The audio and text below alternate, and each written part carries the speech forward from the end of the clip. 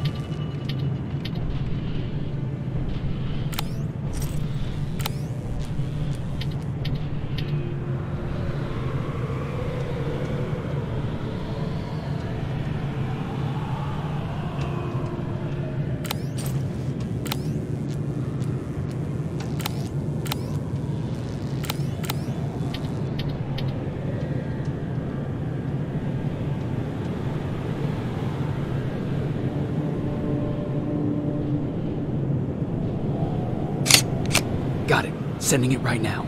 Well done, Private. Now proceed with your main objective.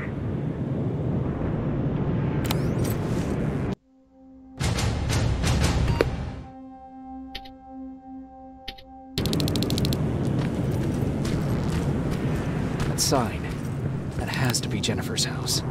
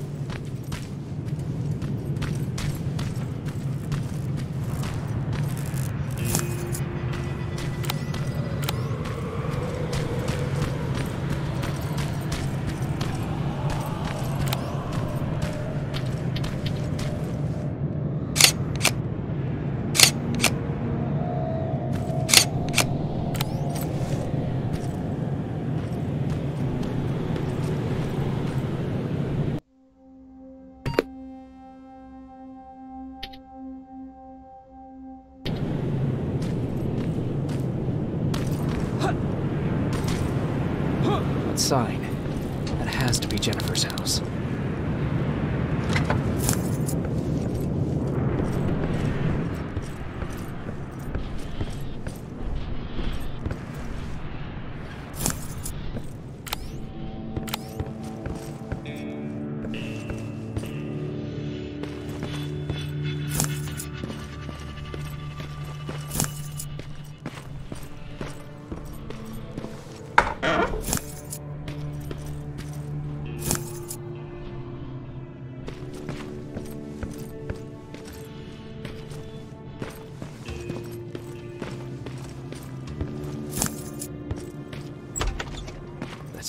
Father.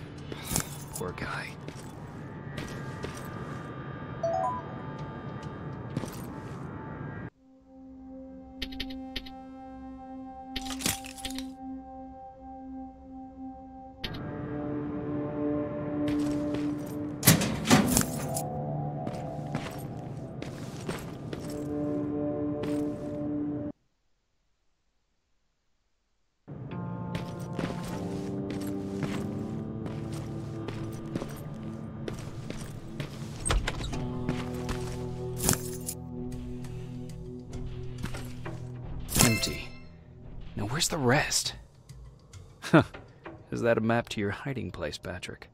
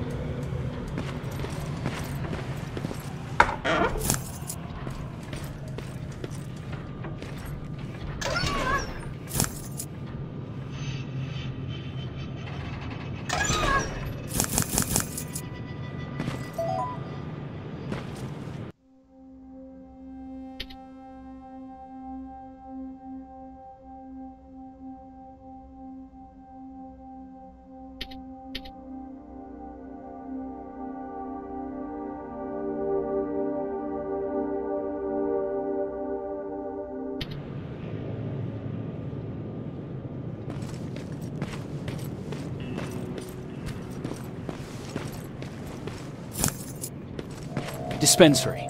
This is it.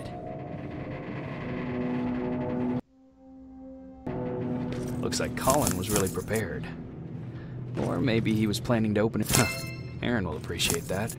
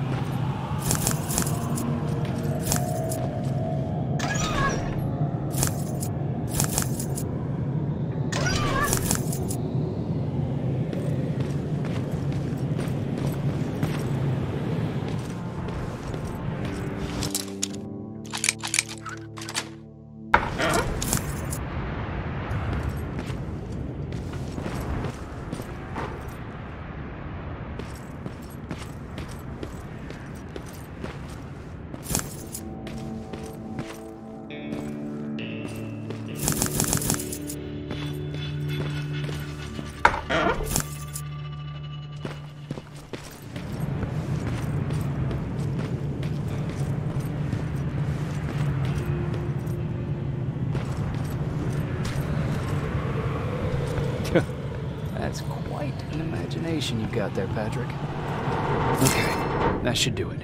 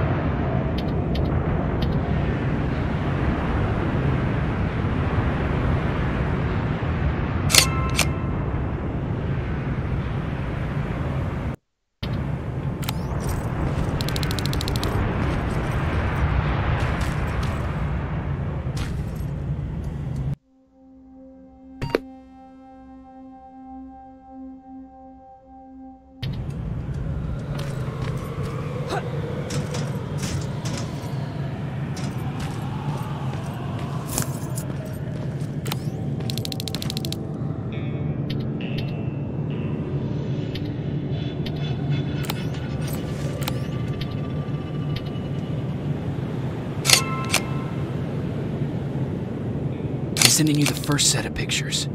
That's exactly what we need. Move to the second point.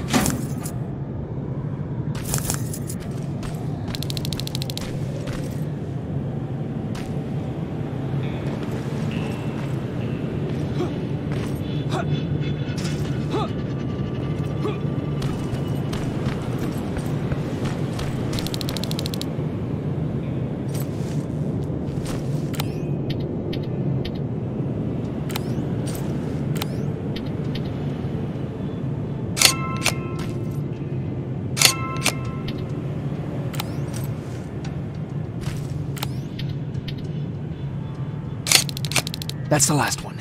Good job with these pictures, Rivers. We're one step closer to preparing a counterattack.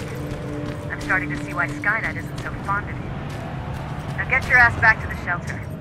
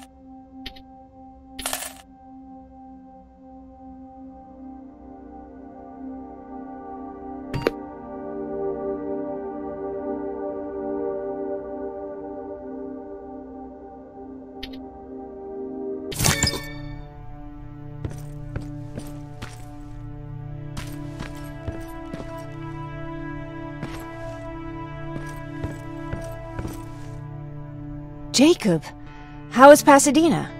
Uh, you know what? Forget I asked. I don't want to know. I'm just glad that you're alright. And how are you doing? I guess I'm a little nervous before tomorrow.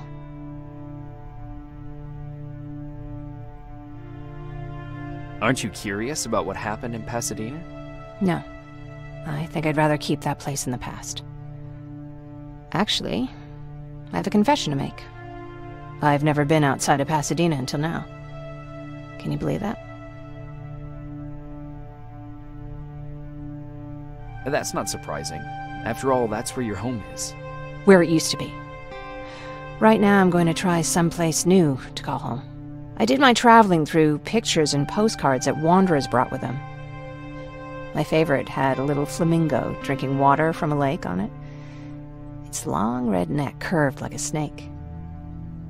Patrick's mother gave me that postcard. Hmm. It's funny how I never met my mother, but I was around to see Patrick's leave him.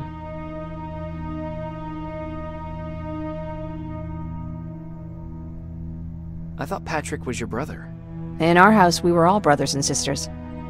But me and Patrick, we've always had this special bond. Felt what the other one was feeling. We'd even get sick together. I remember the day Patrick's mom brought him in. They were both tired and dirty, so we took care of them. Patrick was crying a lot. He was teething at the time. I think that was what scared her away. She just couldn't handle the crying.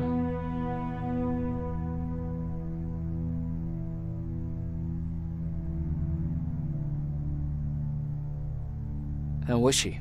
I loved her. For the time she was with us, I liked to pretend she was my mother, too. After she took off, I was devastated. But my father said, You need to grow up. You have a brother now. So I burned the postcard. The little red flamingo flew up in flames. And I promised myself I'd never be weak again. But I guess we all need someone we can be weak with sometimes, don't we?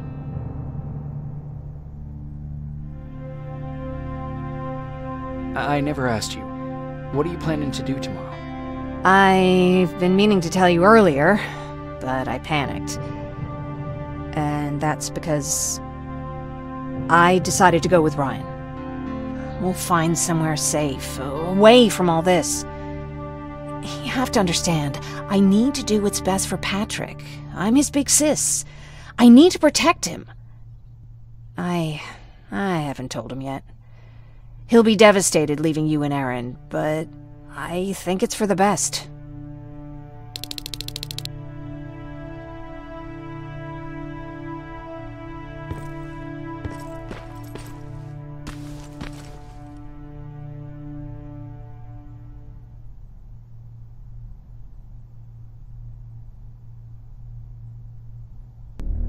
Wake up! We need to move. What? What's going on? Everyone, wake up! You need to get out of here. Who the fuck are you? It doesn't matter. What matters is that you can't stay here any longer. She asked a question, and I suggest answering. You don't want to do that. I've got this place rigged with explosives, and there's a detonator in my pocket. You got what? Would you mind? Lower your gun, Ryan. He's the one that saved my life. What do you want from us? You have to get out of here. Skynet's on its way. They finally found you. What you mean they found us? They were looking for us? Not for you. For him. He's essential to winning this war. Skynet knows that. That's why they've been following him for months. I have to make sure nothing happens to him. In a couple of minutes, an infiltrator will walk in here trying to kill him. I can't let that happen. We have to bury that Terminator here once and for all. All right, everybody, you heard him. Let's get moving. I'll get the bus ready. There's no time for that. There's a passage here. It will lead you out. Use it. What was that? All right, everyone, get out! Jacob! Give me that. It's the same one. It's the same model. Leave! Now! How the hell's he still alive? Go! Go! Go! Watch out! Don't just stand there! Run!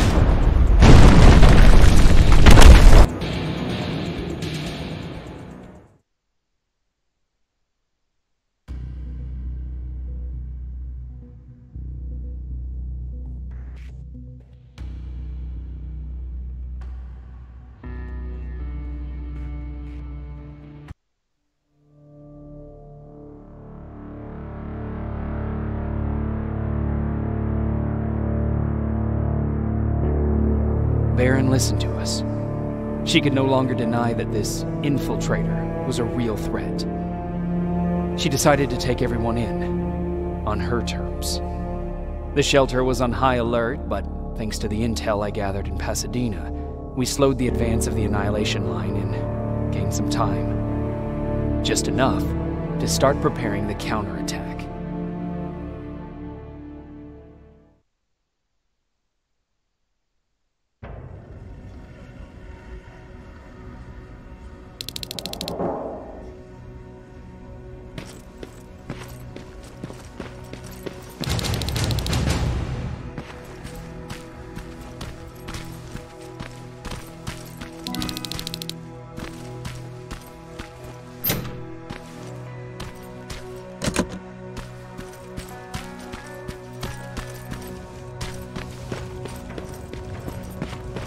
Sergeant?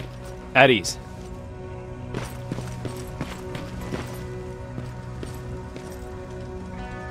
Well, look at you, Sergeant. When you helped us in Pasadena the other day, I was trying really hard not to panic because you were only a private. Sorry for underestimating you. I guess I should salute or something?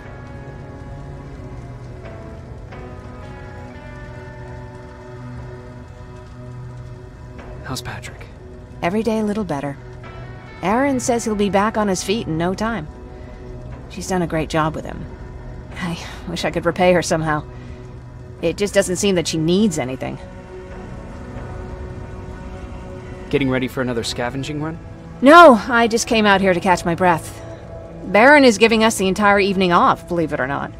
Doesn't sound like her. I need to report to Baron.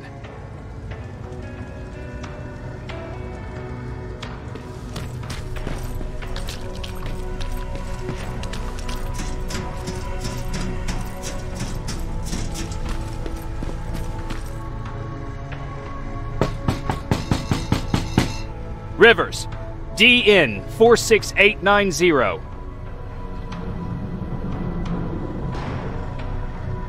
The commander is expecting you in the control room, Sergeant. Maraschino Charing's again. I don't get it. How did they bring that buggy down here? Hey, I'm just catching up with Mark. I'll get back to work in a couple of minutes. You won't tell, right? uh, but, but no, seriously, you won't tell, right?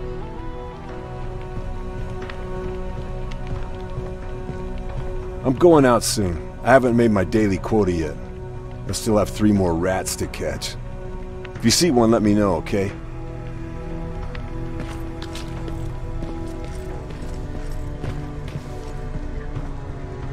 Do you need anything?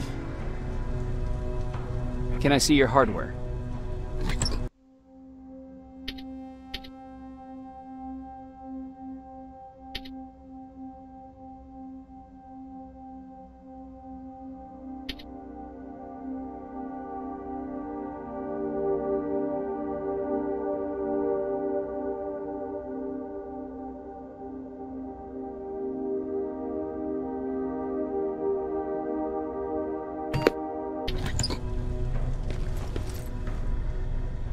Hey Ryan, how's everything? Uh, exactly as you would imagine. Baron's keeping me busy. They weren't kidding when they said she's a hard ass. What happened after you started your camp? Honestly, not that much. At least not in the beginning. When we gave up on the idea of getting in touch with anyone, we just tried to adapt. Temperatures fell, we had to scavenge for food. All of a sudden, that became our life. Didn't you try to reach home? Some people did. Most of us were scared of what we'd find if we did get home, so we conveniently said we're stranded here anyways and stayed. Well, I know how stupid it sounds, but we managed to have fun in our little commune. I still had my guitar with me. We talked a lot about how we're gonna be famous, because we're the only living band in the world. What was your band's name? Well, we were thinking about changing it to Survivors, but something similar was already taken. We were just stupid kids, not realizing what was going on. We paid the price for it the first time we saw a tin can.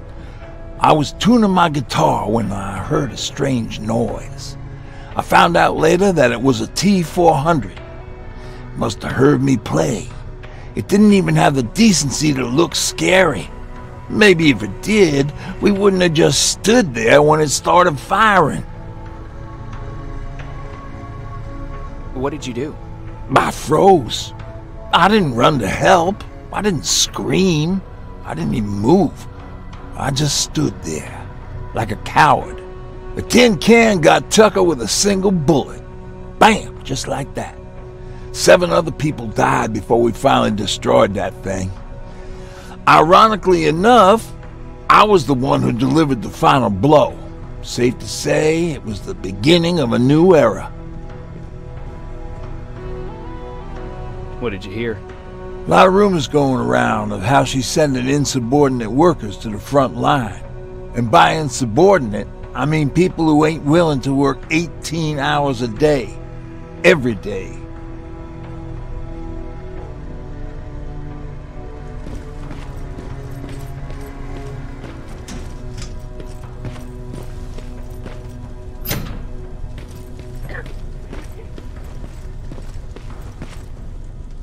Are you alright? Me? Honey, I'm about the most well-adjusted person in this goddamn place. It's the others you should be concerned about.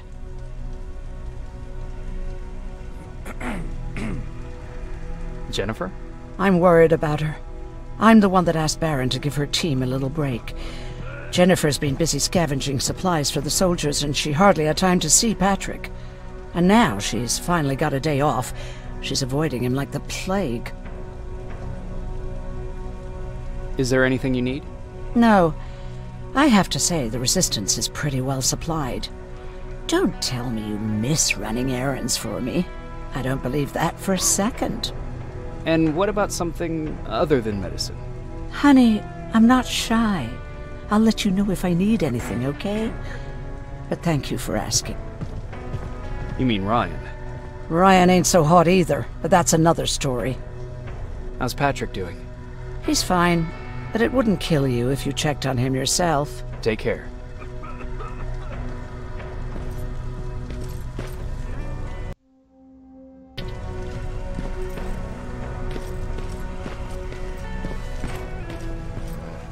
Hmm.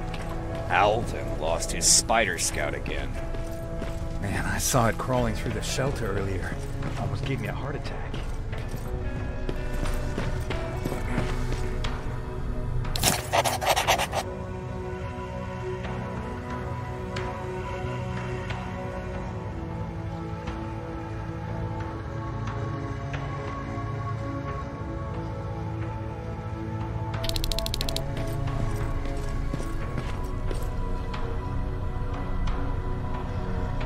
You wanted to see me.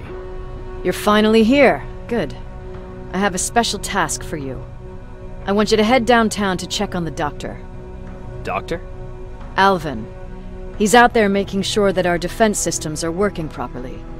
Ever since we went radio silent, I had a small team of trustworthy messengers maintaining communication between our outposts. They haven't returned, so I want you to go downtown and see why that happened. Could be nothing. But Connor doesn't want any hiccups while he's up there in North Division preparing the attack on Skynet's central core. Is there a problem with the radio? The Annihilation Line is within spitting distance of downtown. We suspect that Skynet will be intercepting all transmissions from that location. So for now, we're going radio silent. That's why I need you to go there personally. Central core? Skynet's main reactor, the source of all their power. We shut down the Central Core, we shut down Skynet. Connor's preparing the attack as we speak, so you understand we can't have any critical complications at this stage. If you don't mind me asking, how did you end up here? Excuse me if I act a little surprised, Sergeant. But no one in here thinks it's wise to ask their superior personal questions. But since you did, I'll humor you. So, how did I get here? The same way you did. I was born, raised, and given a gun. We don't really have a say in what we do, do we? Or do I assume too much? Was it any different for you? Hmm? Why do you fight, Sergeant? We don't have a choice. Exactly. We're just going through the motions. Humans were fighting humans since the beginning of time. It just so happens that right now we have a common enemy. If it wasn't for the machines, we'd probably be fighting each other.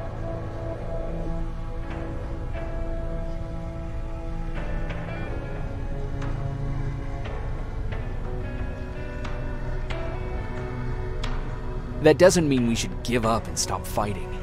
No, no, it doesn't. I'm just warning you. Don't hold your breath waiting for all this to be over. There will always be another war. Besides, I'm not a fighter. When I go out there in the middle of the night with my Westinghouse, I'm not looking for a fight. I look to seek and conquer. I'm not a fighter. I'm a bully.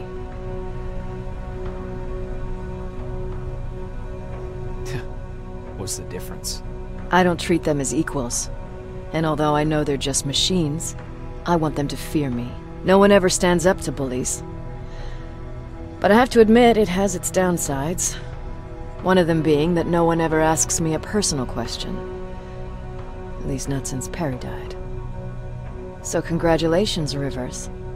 Takes guts to stand up to a bully. I guess since your promotion, you got a little more cocky. Good for you.